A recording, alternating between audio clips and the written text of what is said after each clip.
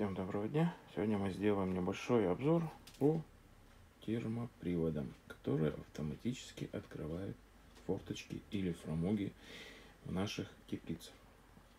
Начнем с английских. Вот это проверенный производитель Беллис. Автовент, так называемый, английский. Ну, конечно, это фабричный Китай, но товарный знак английский.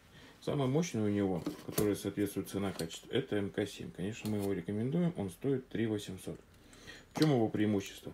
Это мощный каркас и три возвратных пружины. Он в основном ставится на тяжелые форточки фрамуги. Вот такая система. Из э, минусов крепления, то есть 4, даже это не минус, а плюс 4 самореза, но мощная конструкция. Из минусов любого автомата можно сказать, что если что масло вытекло, все, можно на выкид, любой термопривод. Ну, кроме вот этого, сейчас расскажем. Следующий у них на линейке идет Excel. Он немножко послабее, и у него одна возвратная пружина. Он ставится, его надо ставить на жесткие. Э, жесткие фрамуги, которые не, то есть его так не болтаются. Поэтому он немножечко мягкий, но и цена соответствующая меньше. Мы их уже давно не продаем, это у нас один на остатки где-то с образца. Все они работают замечательно. Главное закрепить их правильно. МК-7, что я хотел сказать. И еще, сам, самое главное, так называемый тип лягушки, да, вот открывающие, которые вот так вот, вот так они открываются. Вот так вот, да. У них самый главный критерий, их надо ставить на скаты, то есть, чтобы фрамугов это крышные, ставится на крыше, на скат никак не на вертикальной стены. Если вы ставите на вертикальную стену, вам придется его, вот смотрите, видите, он будет вот так открытый, вот так ставится. Вот. То вам надо будет вот на эту пружину, вот в это место внизу, да, вертикально, ставить какой-то переходник, чтобы она больше прижимала как можно больше плоскость. И еще вот на эту сторону вешать утяжелитель. Утяжелитель вешать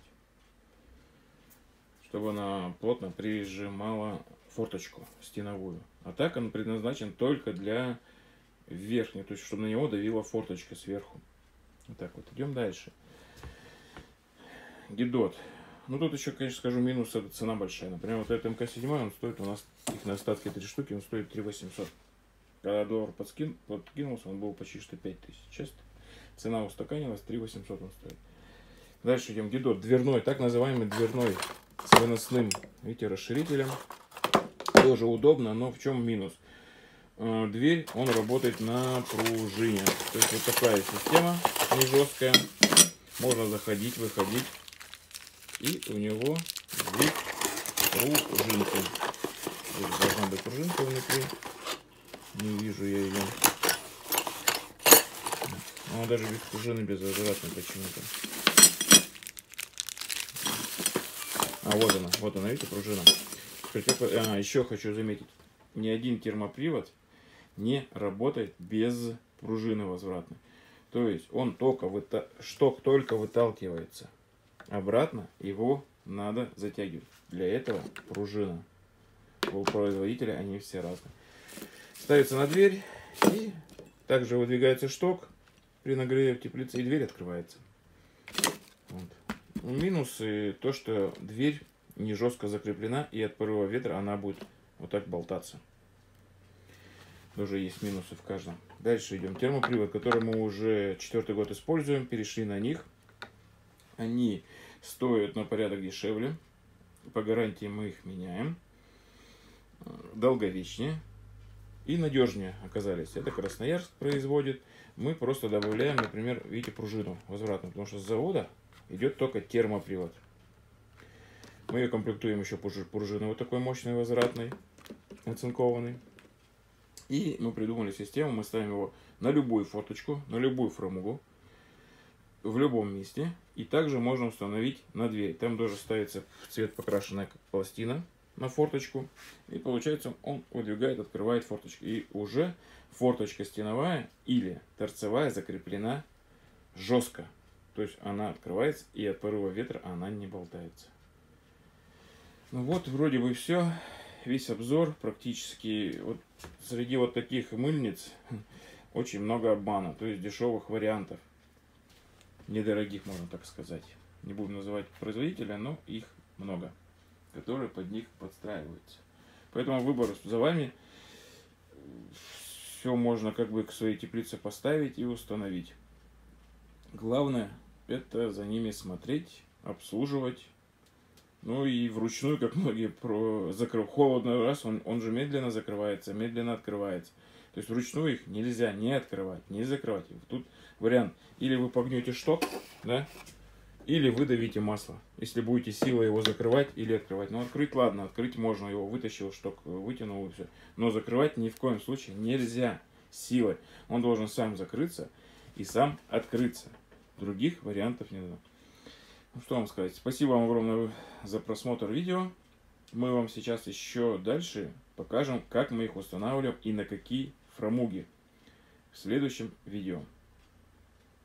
Всем доброго дня, все как обычно. Приветствую вас, наши дорогие подписчики. Сегодня у нас понедельник, солнышко вышло, ярко светит. Сегодня бы я хотел бы вам рассказать про проветривание автоматическое, то есть не ручное, а автоматическое.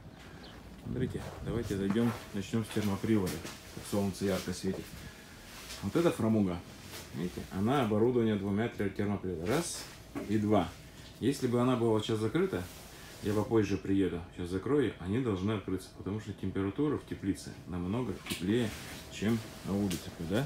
Если она будет закрыта. Вот. Идем дальше. Так, по обслуживанию. На зиму как бы я их стараюсь отсоединять. То есть вот так вот, ничего сложного. Вот он, видите, термопривод. Он просто с этой головки, вот с этой вот, снимается. Вот. Ну, тут уже пружинку сняли, потеряли. А так она просто одевается. Раз, два. На этой, на этой фрамуге мы проводили эксперимент. Оставляли только один термопривод. Но две пружины, чтобы она равномерно ее открывала и закрывала, и прижимала. Идем дальше. То есть тут ничего сложного. Так просто откинули и пусть он висит, чтобы на него никакой нагрузки не было. Идем дальше. Куда еще мы ставим термоприводы? Термоприводы также ставятся на э, форточные блоки, которые коньковые. Идем. Вот, например, взять капельку, да? Вот одна форточка ручная, ручка такая, да? Тут сейчас снег навалило, не открыть. И вторая с термоприводом. Также ставится усилитель, термопривод, связь, на которую устанавливается термопривод. И получается, эта форточка автоматически открывается, закрывается. Что очень удобно, когда летом очень жарко. Также бывает полуавтоматическое, так сказать, ручное. Это газ-лифты. Заходим в кабельку. Это газ-лифты. Это обычно мебельные газ-лифты с двух сторон, так и фрамуги тяжелые. И вот так легким нажатием руки она открывается. Видите? Раз. Но это не автоматическая. И также закрывается. И плотно закрылась. Видите как? Мы сейчас с вами идем разговор, чтобы у нас автоматически вот такие фоточки открывались. И на арочной формы, на павильонах открывались фрамуги. Пойдемте еще раз. Также можно установить автоматы вот на таких форточках, на боковых. Сейчас я вам покажу. То есть любую форточку можно оборудовать автоматическим проветриванием. Любую. Только надо подойти грамотно к этому вопросу. Вот тут у нас емкости стоят и со снегом. И вот стоит термопривод. Видите? Он открывает стеновую форточку. Если снегом все завалено, ничего сложного нет. Все легко. Главное продумать э, закрытие и открытие, чтобы он легко открывал и легко закрывал и прижимал. Самое главное в проветривании это прижим. Вот видите, если вы видите сверху, вот видите фрамуга, она плотно со всех сторон прижата на пружинах, потому что мы ставим дополнительные пружины хоть как. Если, например, на газ-лифтах они не нужны, вот здесь нет ушки, ну вот, на газ-лифтах, они не нужны, да? Они сами по себе прижимают. Раз, открыли и прижали. То на автоматических хромугах нужны обязательно, давайте зайдем сюда, нужны обязательно пружины возвратные. Вот смотрите для чего. Сейчас я встану здесь. Вот так вот, да, показать вам. Вот видите, она, раз, вот где-то примерно вот так открывается. Еще ставится обязательно, вот видите, цепи.